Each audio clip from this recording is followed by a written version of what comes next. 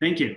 So good morning, everybody. Thank you for being here today. I really appreciate the chance to share some of the work that Professor Jack Baker and I, Rodrigo Silva Lopez at Stanford University, we have been doing regarding the application of machine learning and AI techniques for the resilience of road networks. And in particular today, what I'm gonna share with you is the work that we did in developing a deep learning model to improve and speed the seismic risk assessment of road networks. Uh, before getting started, I want to invite you to reflect a little bit about like how complex road networks can be. And to illustrate that, let's look at the San Francisco model that we're using for our research and has been used in the uh, research of the Baker Group uh, quite a lot. In this regard, if you think about the Bay Area, the Bay Area comprises almost 1,600 census tracts.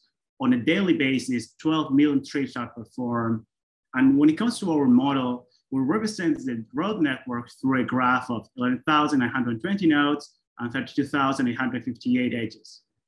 Uh, in that regard, it also includes 1,743 bridges that are managed by Caltrans and that are the vulnerable components to collapse or experience damage through earthquake. Beyond the numbers that can be a little bit confusing, the point that I'm trying to make is that when we think about distributed systems and road networks in particular, we're talking about systems that comprise thousands of elements, millions of people, millions of strips, and all of those elements are interacting in highly nonlinear fashion. Hence, when we think about improving the seismic risk of these systems or trying to get any significant metric from this system, the analysis tends to be computationally challenging in order to quantify all the intricacies of these systems. In that regard, as an example of what brings us today uh, we think about also about the seismic risk assessment, it's also a computationally expensive process. Here, I'm showing an example of how this process is performed. And here you can see that in the left figure, given a seismic scenario that is defined by the values of density metric at location of interest, which in this case are bridges, we can use that information to obtain realizations of, of damage for each individual bridge using their fragility function, which is the second step of this process. Given the information of damage state for each bridge, we can define whether or not the bridge is functional.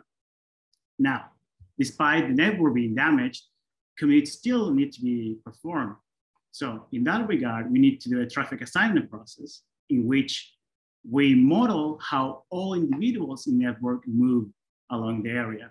So for instance, we will need to know how somebody that is in San Francisco will move to Berkeley or how somebody that's in San Francisco will go to South Bay and so on. And then given that we're trying to help decision makers decide how to improve this system, it's not enough to just characterize how people move. We, we actually have to develop metrics that comprise that information in a significant manner. So in order to do so, we use a metric that is a traffic performance metric that aggregates both the lost trips due to impacts to connectivity and also uh, the increase in travel time. Now, as I mentioned, the motivation of this was that it was computationally expensive. Let's look where that cost comes from. So seismic scenario is fast, it's just a radial generation and ground motion model. Fragility functions that are also fast to compute. It's just a random number and a log normal function. But then we think about traffic assignment, which is modeling how people will move it's quite expensive computation. In its, most, in its simplest version, it requires to compute the shortest path between all origin destinations. So for instance, in the previous slide, I showed that the Bay Area had 1,600 census tracts. So if we were to use those points as origin destination, which is some of the information that is available, then that would mean that for running one realization of traffic assignment, we would need to complete the shortest path 2.5 millions of times which of course is computationally expensive. Now, the thing is that it's not only about one seismic scenario, because we're talking about seismic risk assessment. So for instance, to compute the expected annual transportation loss, you need a suite of seismic scenarios that are hazard consistent so that represent the seismicity of the range that is being analyzed. To illustrate how many scenarios that can be, for the San Francisco Bay Area, we have 2,000 scenarios. So this process that I already mentioned that is computationally expensive to run twice, once, we have to run it 2,000 times. And moreover, that's just to do one assessment. you want to evaluate, for instance, what's the impact of retrofit in the Bay Bridge, then we'll need to run the 2000 scenarios against with that bridge, and then any other bridge or any combination of, of any number n of bridges. So as you see, the problem grows exponentially, uh, and the pro and the fact that this is really slow doesn't help to actually uh, uh, measure or evaluate our retrofitting actions. So in that regard, with Professor Baker, we started thinking, okay, how can we skip this uh, step of assigning traffic while still providing an, an accurate and rapid surrogate model? And then we observed that using deep neural networks will help us fast track the risk assessment of these systems. And studying by a damage map, the neural network will go directly to a traffic performance metric. Now, given that we decided to use a traffic performance metric using a neural, sorry, a, neural network, then the first step we need to do is define the inputs and the outputs that a neural network would actually use. So as I mentioned before, we'll use the damage map, uh, but then that damage map will be used by the neural network as a feature spectrum in which each bridge will be defined by a binary variable, which will be zero if the bridge is usable, or one if the bridge is not functional and then that for all bridges. So you have a vector in the case of our study for one to 1,743 bridges. That will be used by the neural network. And then the output metric will be the traffic performance metric that I defined before. So again, you'll go from a feature, the input will be the features vector, and the output would be the traffic performance metric. Uh, okay, and now I already mentioned what's the input and the output, but we actually need to train the, the neural network and calibrate it for our purposes in that regard, uh, the, the, main, the, main, three factors that we explored to define the architecture of this neural network uh, were three, and these are summarized here. So the first challenge that we encountered was that when it comes to seismic scenarios, all the seismic scenarios we had were hazard consistent. So that means that, of course, the probability of, of, of mildly disruptive events was really higher than extreme events. So a question that we had is how using hazard consistent sampling, which is the one used by default, would account for these extreme events that, although they're not as likely to happen, they have a huge disruption that ultimately impacts in the risk analysis. As a second challenge, that is a typical challenge for this kind of calibration, was how to define the hyperparameters of the unit. And in that regard, you have to develop hyperparameter calibration of number of layers, learning rate, neuron per layer, activation function, and so on. And finally, the third challenge, we'll, we, we want to conclude that the neural network works. But then what do we mean with that? So of course, when you think about these kind of regression models at the neural network, there are statistical validation. But in terms of our purpose, we're civil engineers managing these road networks. So besides the statistical validation, we also want to think about uh, engineering parameters such as expected traffic, annual traffic loss. Uh, for, for the sake of this presentation, I'm gonna focus on the first and the third challenge, which are uh, more important for our community. In that regard, as I mentioned, we want to explore how has a hazard consistent model performs that predicts extreme events. So here we're showing a scatter plot of how the network on the y-axis predicts compares to the, the, the, traffic performance predicted by the traffic model on the x-axis. And here the scatter plot it may not be evident that the hazard model uh, actually performs not that well for extreme events. So we actually plotted the difference in terms of the, the error for different windows of traffic performance, trying to see how the error would evolve as a function of how disruptive the event would be. So in this regard, as you see, the orange line shown here, which is hazard consistent, induces a bias when we uh, increase the disruption of the event. And as a benchmark, we use also random realizations of data to train the, the neural network and the bias in this, but that of course was uh, lessened. So this raised a problem of, okay, you actually need to modify your hazard consistent by including more extreme events so you actually are, are get better extreme events. So the second question that was raised was like, okay, how do you actually select that model that trains for more extreme events? So to do so, what we did was we trained several neural networks with different fractions of proportion of extreme events. So here, what we're showing the right plot is in the x-axis is the fraction of data corresponding to extreme events. The blue line is the error, with the accuracy on the extreme events, and the gray line is the is uh, corresponds to all events in test data. So here, of course, you can see that if you don't have a lot of extreme events, then the performance for extreme events will be really low. But then as you increase the number of extreme events, then it increases. The thing is that here you can see the sweet area in which both all events and also extreme events uh, have an accuracy that is high. So when it comes to selecting the best model, we decided to use a model that had an oversample of those extreme events up to 80%.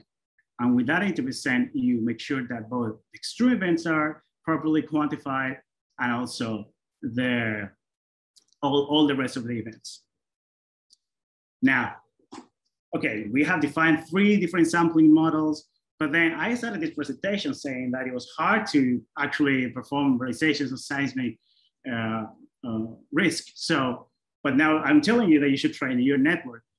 The problem is that to train your network, you actually need data. So you need to run the seismic realizations uh, quite, a, quite, quite a lot. So we try to answer like, what do we mean that quite a lot? Here, what we realized was that we train in the, here we're showing actually dependency on the accuracy at the number of realization and training data.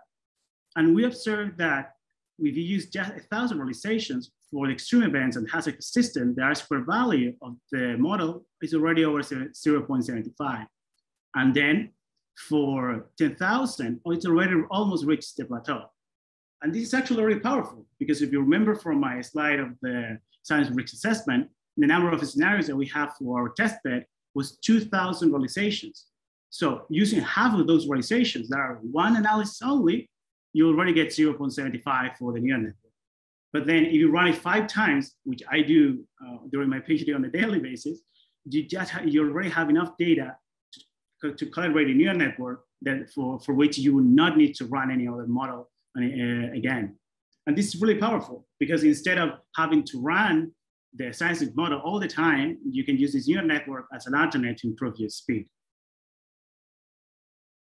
In terms of validation, the third challenge that I mentioned that we are going to tackle today, uh, this, uh, besides the statistical performance that we show you that the R-square value was over 0.95, we also thought about some metrics that are used by decision makers, decision makers to evaluate whether or not some retrofitting actions are, are actually useful or not. And that we got, we defined the use of two metrics. We, de we defined the use of loss curves and also the use of expected annual loss. Uh, in that regard, here I'm showing two sets of curves. One set of curves, the orange one, represents the performance of the, of the, of the, of the model without retrofitting. The blue line is for 500 random bridges selected to retrofit. And then in a continuous line, you can say you see the result of the traffic model, and in the dashed line, the result of the neural network. As you can see, if you account for the certainty in actually these realizations, both set of curves, the traffic model versus the neural network, are the same. But actually, they're not the same in a really good fashion, in a good, really good way. And it's time-wise. The traffic model, which I run in my personal computer, which is a MacBook Pro of late 2016, would take eight hours to compute. So this means that this plot that I'm showing took 16 hours to run in my own computer. But then if you think about the neural network, it took 0.3 seconds to develop the same curves that I'm showing here, which is almost 100,000 times faster. Again, this is really powerful because, and again, throughout my PhD, I've been trying to develop different retrofitting strategies. And what I have been doing so far is running traffic model all the time, getting up to 20 or 30 evaluations in the cloud hey, but with your neural networks, I can run this couple of, of, uh, of, of, of, curves in a couple of seconds in my own uh, desktop computer. We go about uh, two minutes left. And when it comes to the second metric that we mentioned, we also thought about the expected transportation annual loss.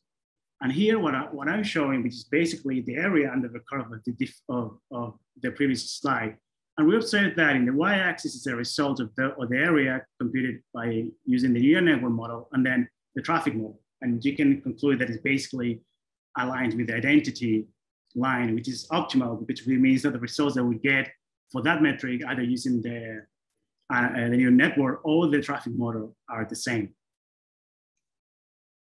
So when it comes to next steps, uh, given that we train this neural network that has as input the status of the bridges, we want to use variable importance algorithm to detect what, bridge, what bridges are clear, critical to predict traffic performance metric. And secondly, using that variables importance algorithm, we want to explore how to propose retrofitting a strategy that minimizes traffic disruption risk. So as conclusion of my presentation today, what you want you to have as takeaways are the first, neural networks are accurately and, and rapid at predicting traffic disruption in a large and complex transportation model, given the dynamic state of all bridges. Uh, and the second takeout that I want you to understand is that when training the model, we need to oversample extreme events so we can account for these events properly. Otherwise, the neural network will focus on fitting small and frequent, sorry, small, uh, frequent, small disruption events that are of lesser interest for risk management. And finally, even though you're training for extreme events, the performance for non-extreme events is also quite good. And more importantly, the spectrum of experiments that this opens, given that it's so fast compared to the previous uh, model, it's really uh, incredible. And in that regard, the benefits of exploring bridge retrofittings will motivate several different studies. And with that, I conclude my presentation. If you have any further questions, of course, uh, at the end of this uh, of these presentations, we'll open questions. But uh, if you if you cannot ask me questions there, also I leave my email.